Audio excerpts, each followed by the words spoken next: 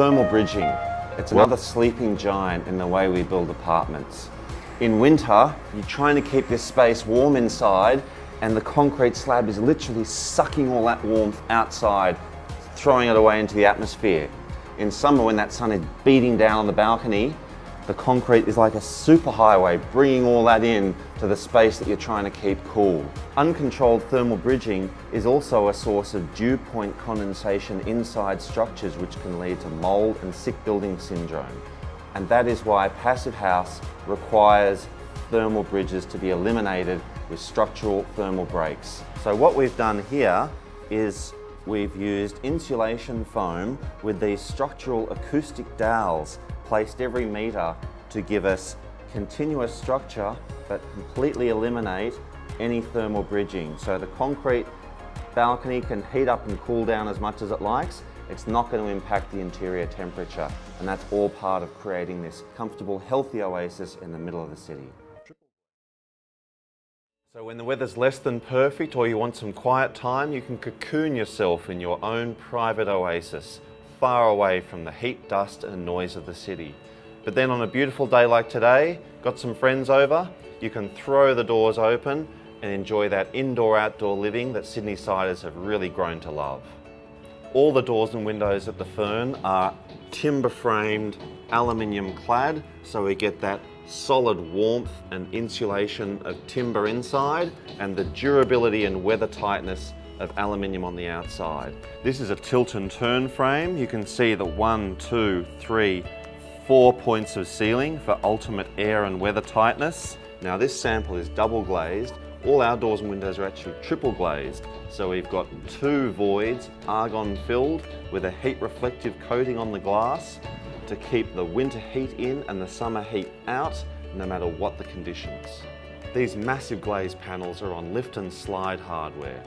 That means that they slide easily on their German rollers, you turn the handle and they drop down onto those rubber seals to form that ultimate passive house airtightness.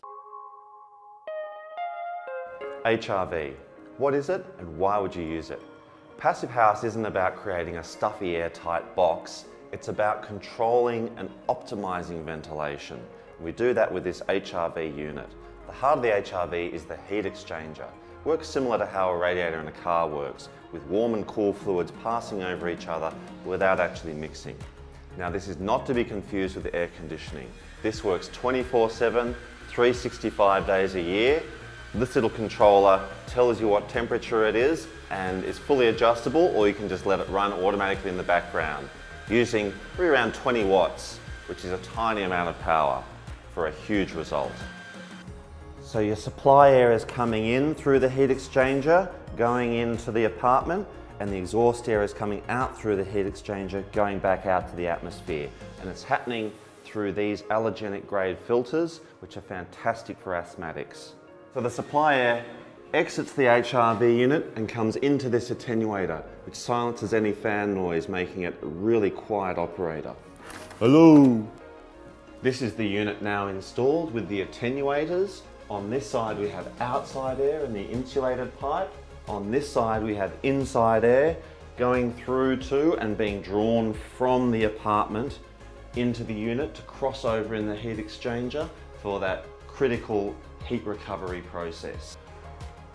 So you can see that ducting snaking its way through the ceiling. We have the kitchen exhaust here. Kitchen and bathroom are constantly drawing exhaust air out and expelling it from the envelope so any smells generated disappear. The supply ducts are pushing the air through into the bedroom and living areas, that filtered fresh air, giving that constant circulation. You can see how much effort has gone into really maximizing the ceiling height by pushing this heat recovery ventilation incoming duct as high as it will go. The final adjustments are made at the valve and the plenum.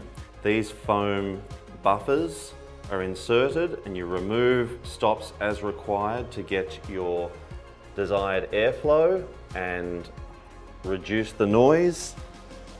This rubber ring forms a nice tight seal.